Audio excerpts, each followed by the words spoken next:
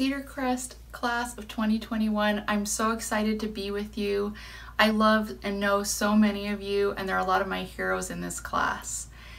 I thought I'd start out today by telling an embarrassing story about myself. I feel like those are always good to warm up with.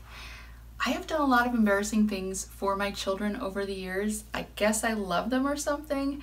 I have coached sports I don't know how to play. I have taught skills that I just barely learned out um, off of YouTube. I would help with my kids' ballet recitals, even though I am not a dancer. They were looking for parent volunteers, and so my job would be to stand on sort of kind of like human set dressing. I would stand on stage dressed as a man with a monocle and big mutton chops and a weird mustache, and the girls would dance, and I would make things look more realistic, I guess. I don't know. Well, one year I volunteered to be Madame Bonbon. Madame Bonbon is the one who wears the big, giant, fluffy dress, and the cute little dancing ballerinas come out from under her dress. Well, my daughter was about four years old at the time, and she was one of the little baby bonbons, so I volunteered to do this. My job was to slowly scoot out on stage while they were under the dress all crouched up and then we get to center stage, and then as the music would start, I would lift my skirt in time with the music, and the little bonbon ballerinas would run out and they would do their dance, and it was adorable. Well, we rehearsed every Saturday for months. We rehearsed the whole week before. We did a couple of great performances, and then it came time for the main performance that they were going to record and make the official DVD recording with a professional film crew. Well, we scooted out. I had to keep my feet really close to the ground so that I wouldn't risk stepping on the dancers. And as we settled into place, my heel rested down and I felt something under my foot and I was thinking, please don't let that be one of the baby ballerinas. Well, the music started, I lifted my skirt and no one would come out. It turns out it had been one of the ballerinas. Luckily, it was my own daughter, my little baby ballerina. I had stomped on her little fingers. Well, she was the first one who was supposed to come out from under my dress. So none of the other little bonbons would come out because they knew that they were supposed to wait and come out after Ivy. So here I am on stage in front of hundreds of people and a professional film crew, and I'm bent over, grabbing these girls and pulling them out from under my dress. My little bonbon clung to me. I held her and swayed back and forth while she sobbed and sobbed on stage and refused to dance. The girls danced maybe about half of their dance and then we shuffled off stage while my daughter continued to cry. To say I was mortified is a massive understatement. I felt like hot garbage. I got looks from the other moms as they gathered their daughters after the show. I had pretty much destroyed the video recording. I had made my daughter cry on stage. I felt so terrible. I think the reason I hate moments like this so much is that it's shocking how a tiny moment like that can provide you with evidence that you are not the person you want to be, that you're not who you thought you were.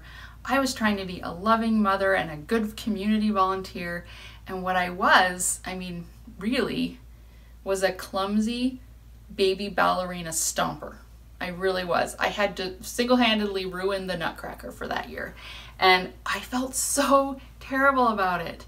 Now, that moment had the power to just bring me down and destroy me and make me not want to do anything ever again. And I think it's important to stop and think about what moments like that can do. Because to be honest, I have had more of those just self revealing, challenging moments over the last year than I've ever had in my life. Some of them are caused because I made a mistake, like crushing my daughter's fingers in front of hundreds of people. But some of them have been just because things are hard right now and things aren't going the way I want them to go. Um, we have missed out on so many amazing opportunities, it feels like this year.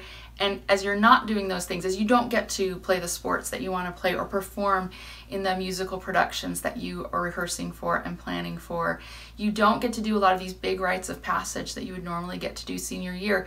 The vision of yourself and of what your senior year would look like and what your freshman year of college would look like or your, your um, launch into your career as a recent high school graduate all of these visions of what your life is have been altered.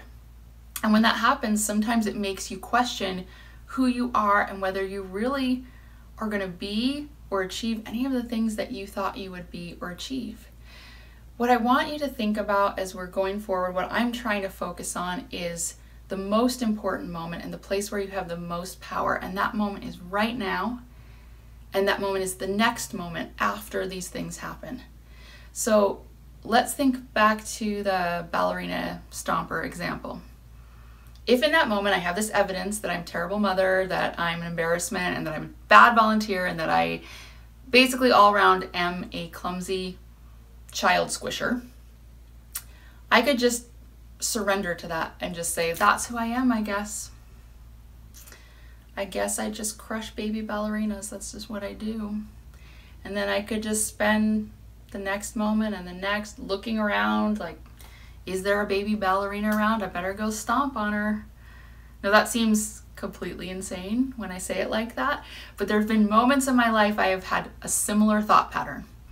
Freshman year of college, I am not great at making friends all of a sudden. I was suddenly a small fish in a big pond and I struggled the first couple of times I tried to make friends. So I just kind of decided I guess I'm not worthy of friendship. I guess when I go to college, people don't like me. And I kind of just hid out in my room and I did not put in effort. I didn't try to reach out. I didn't try to befriend other people. I just decided I guess I'm not someone who makes friends. And I sort of really let myself down for my freshman year because of that choice.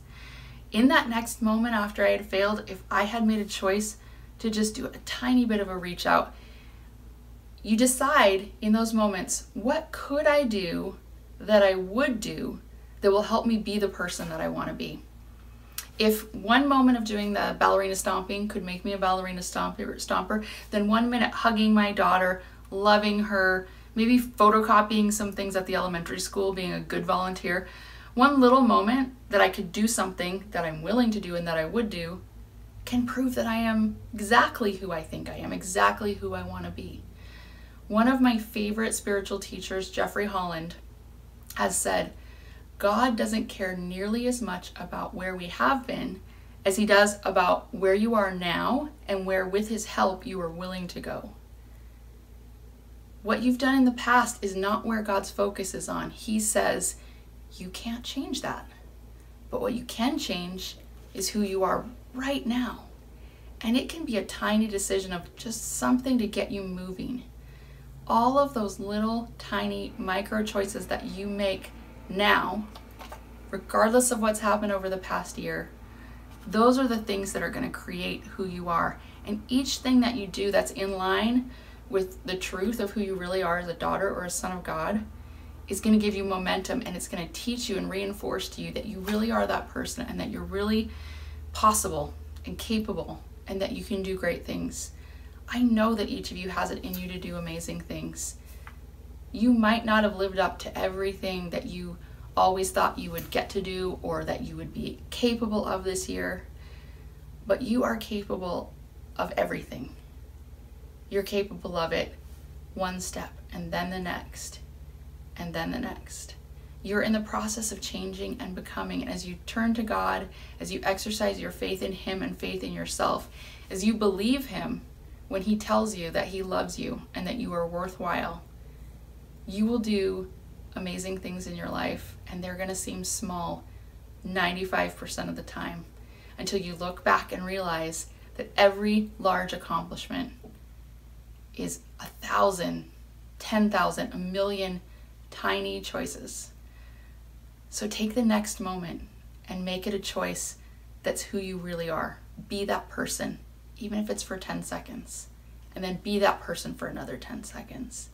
And then do it again. And I know great things are in store for you. I'm so happy for you. Congratulations. I cannot wait to see what the next moment holds for you. Class of 2021.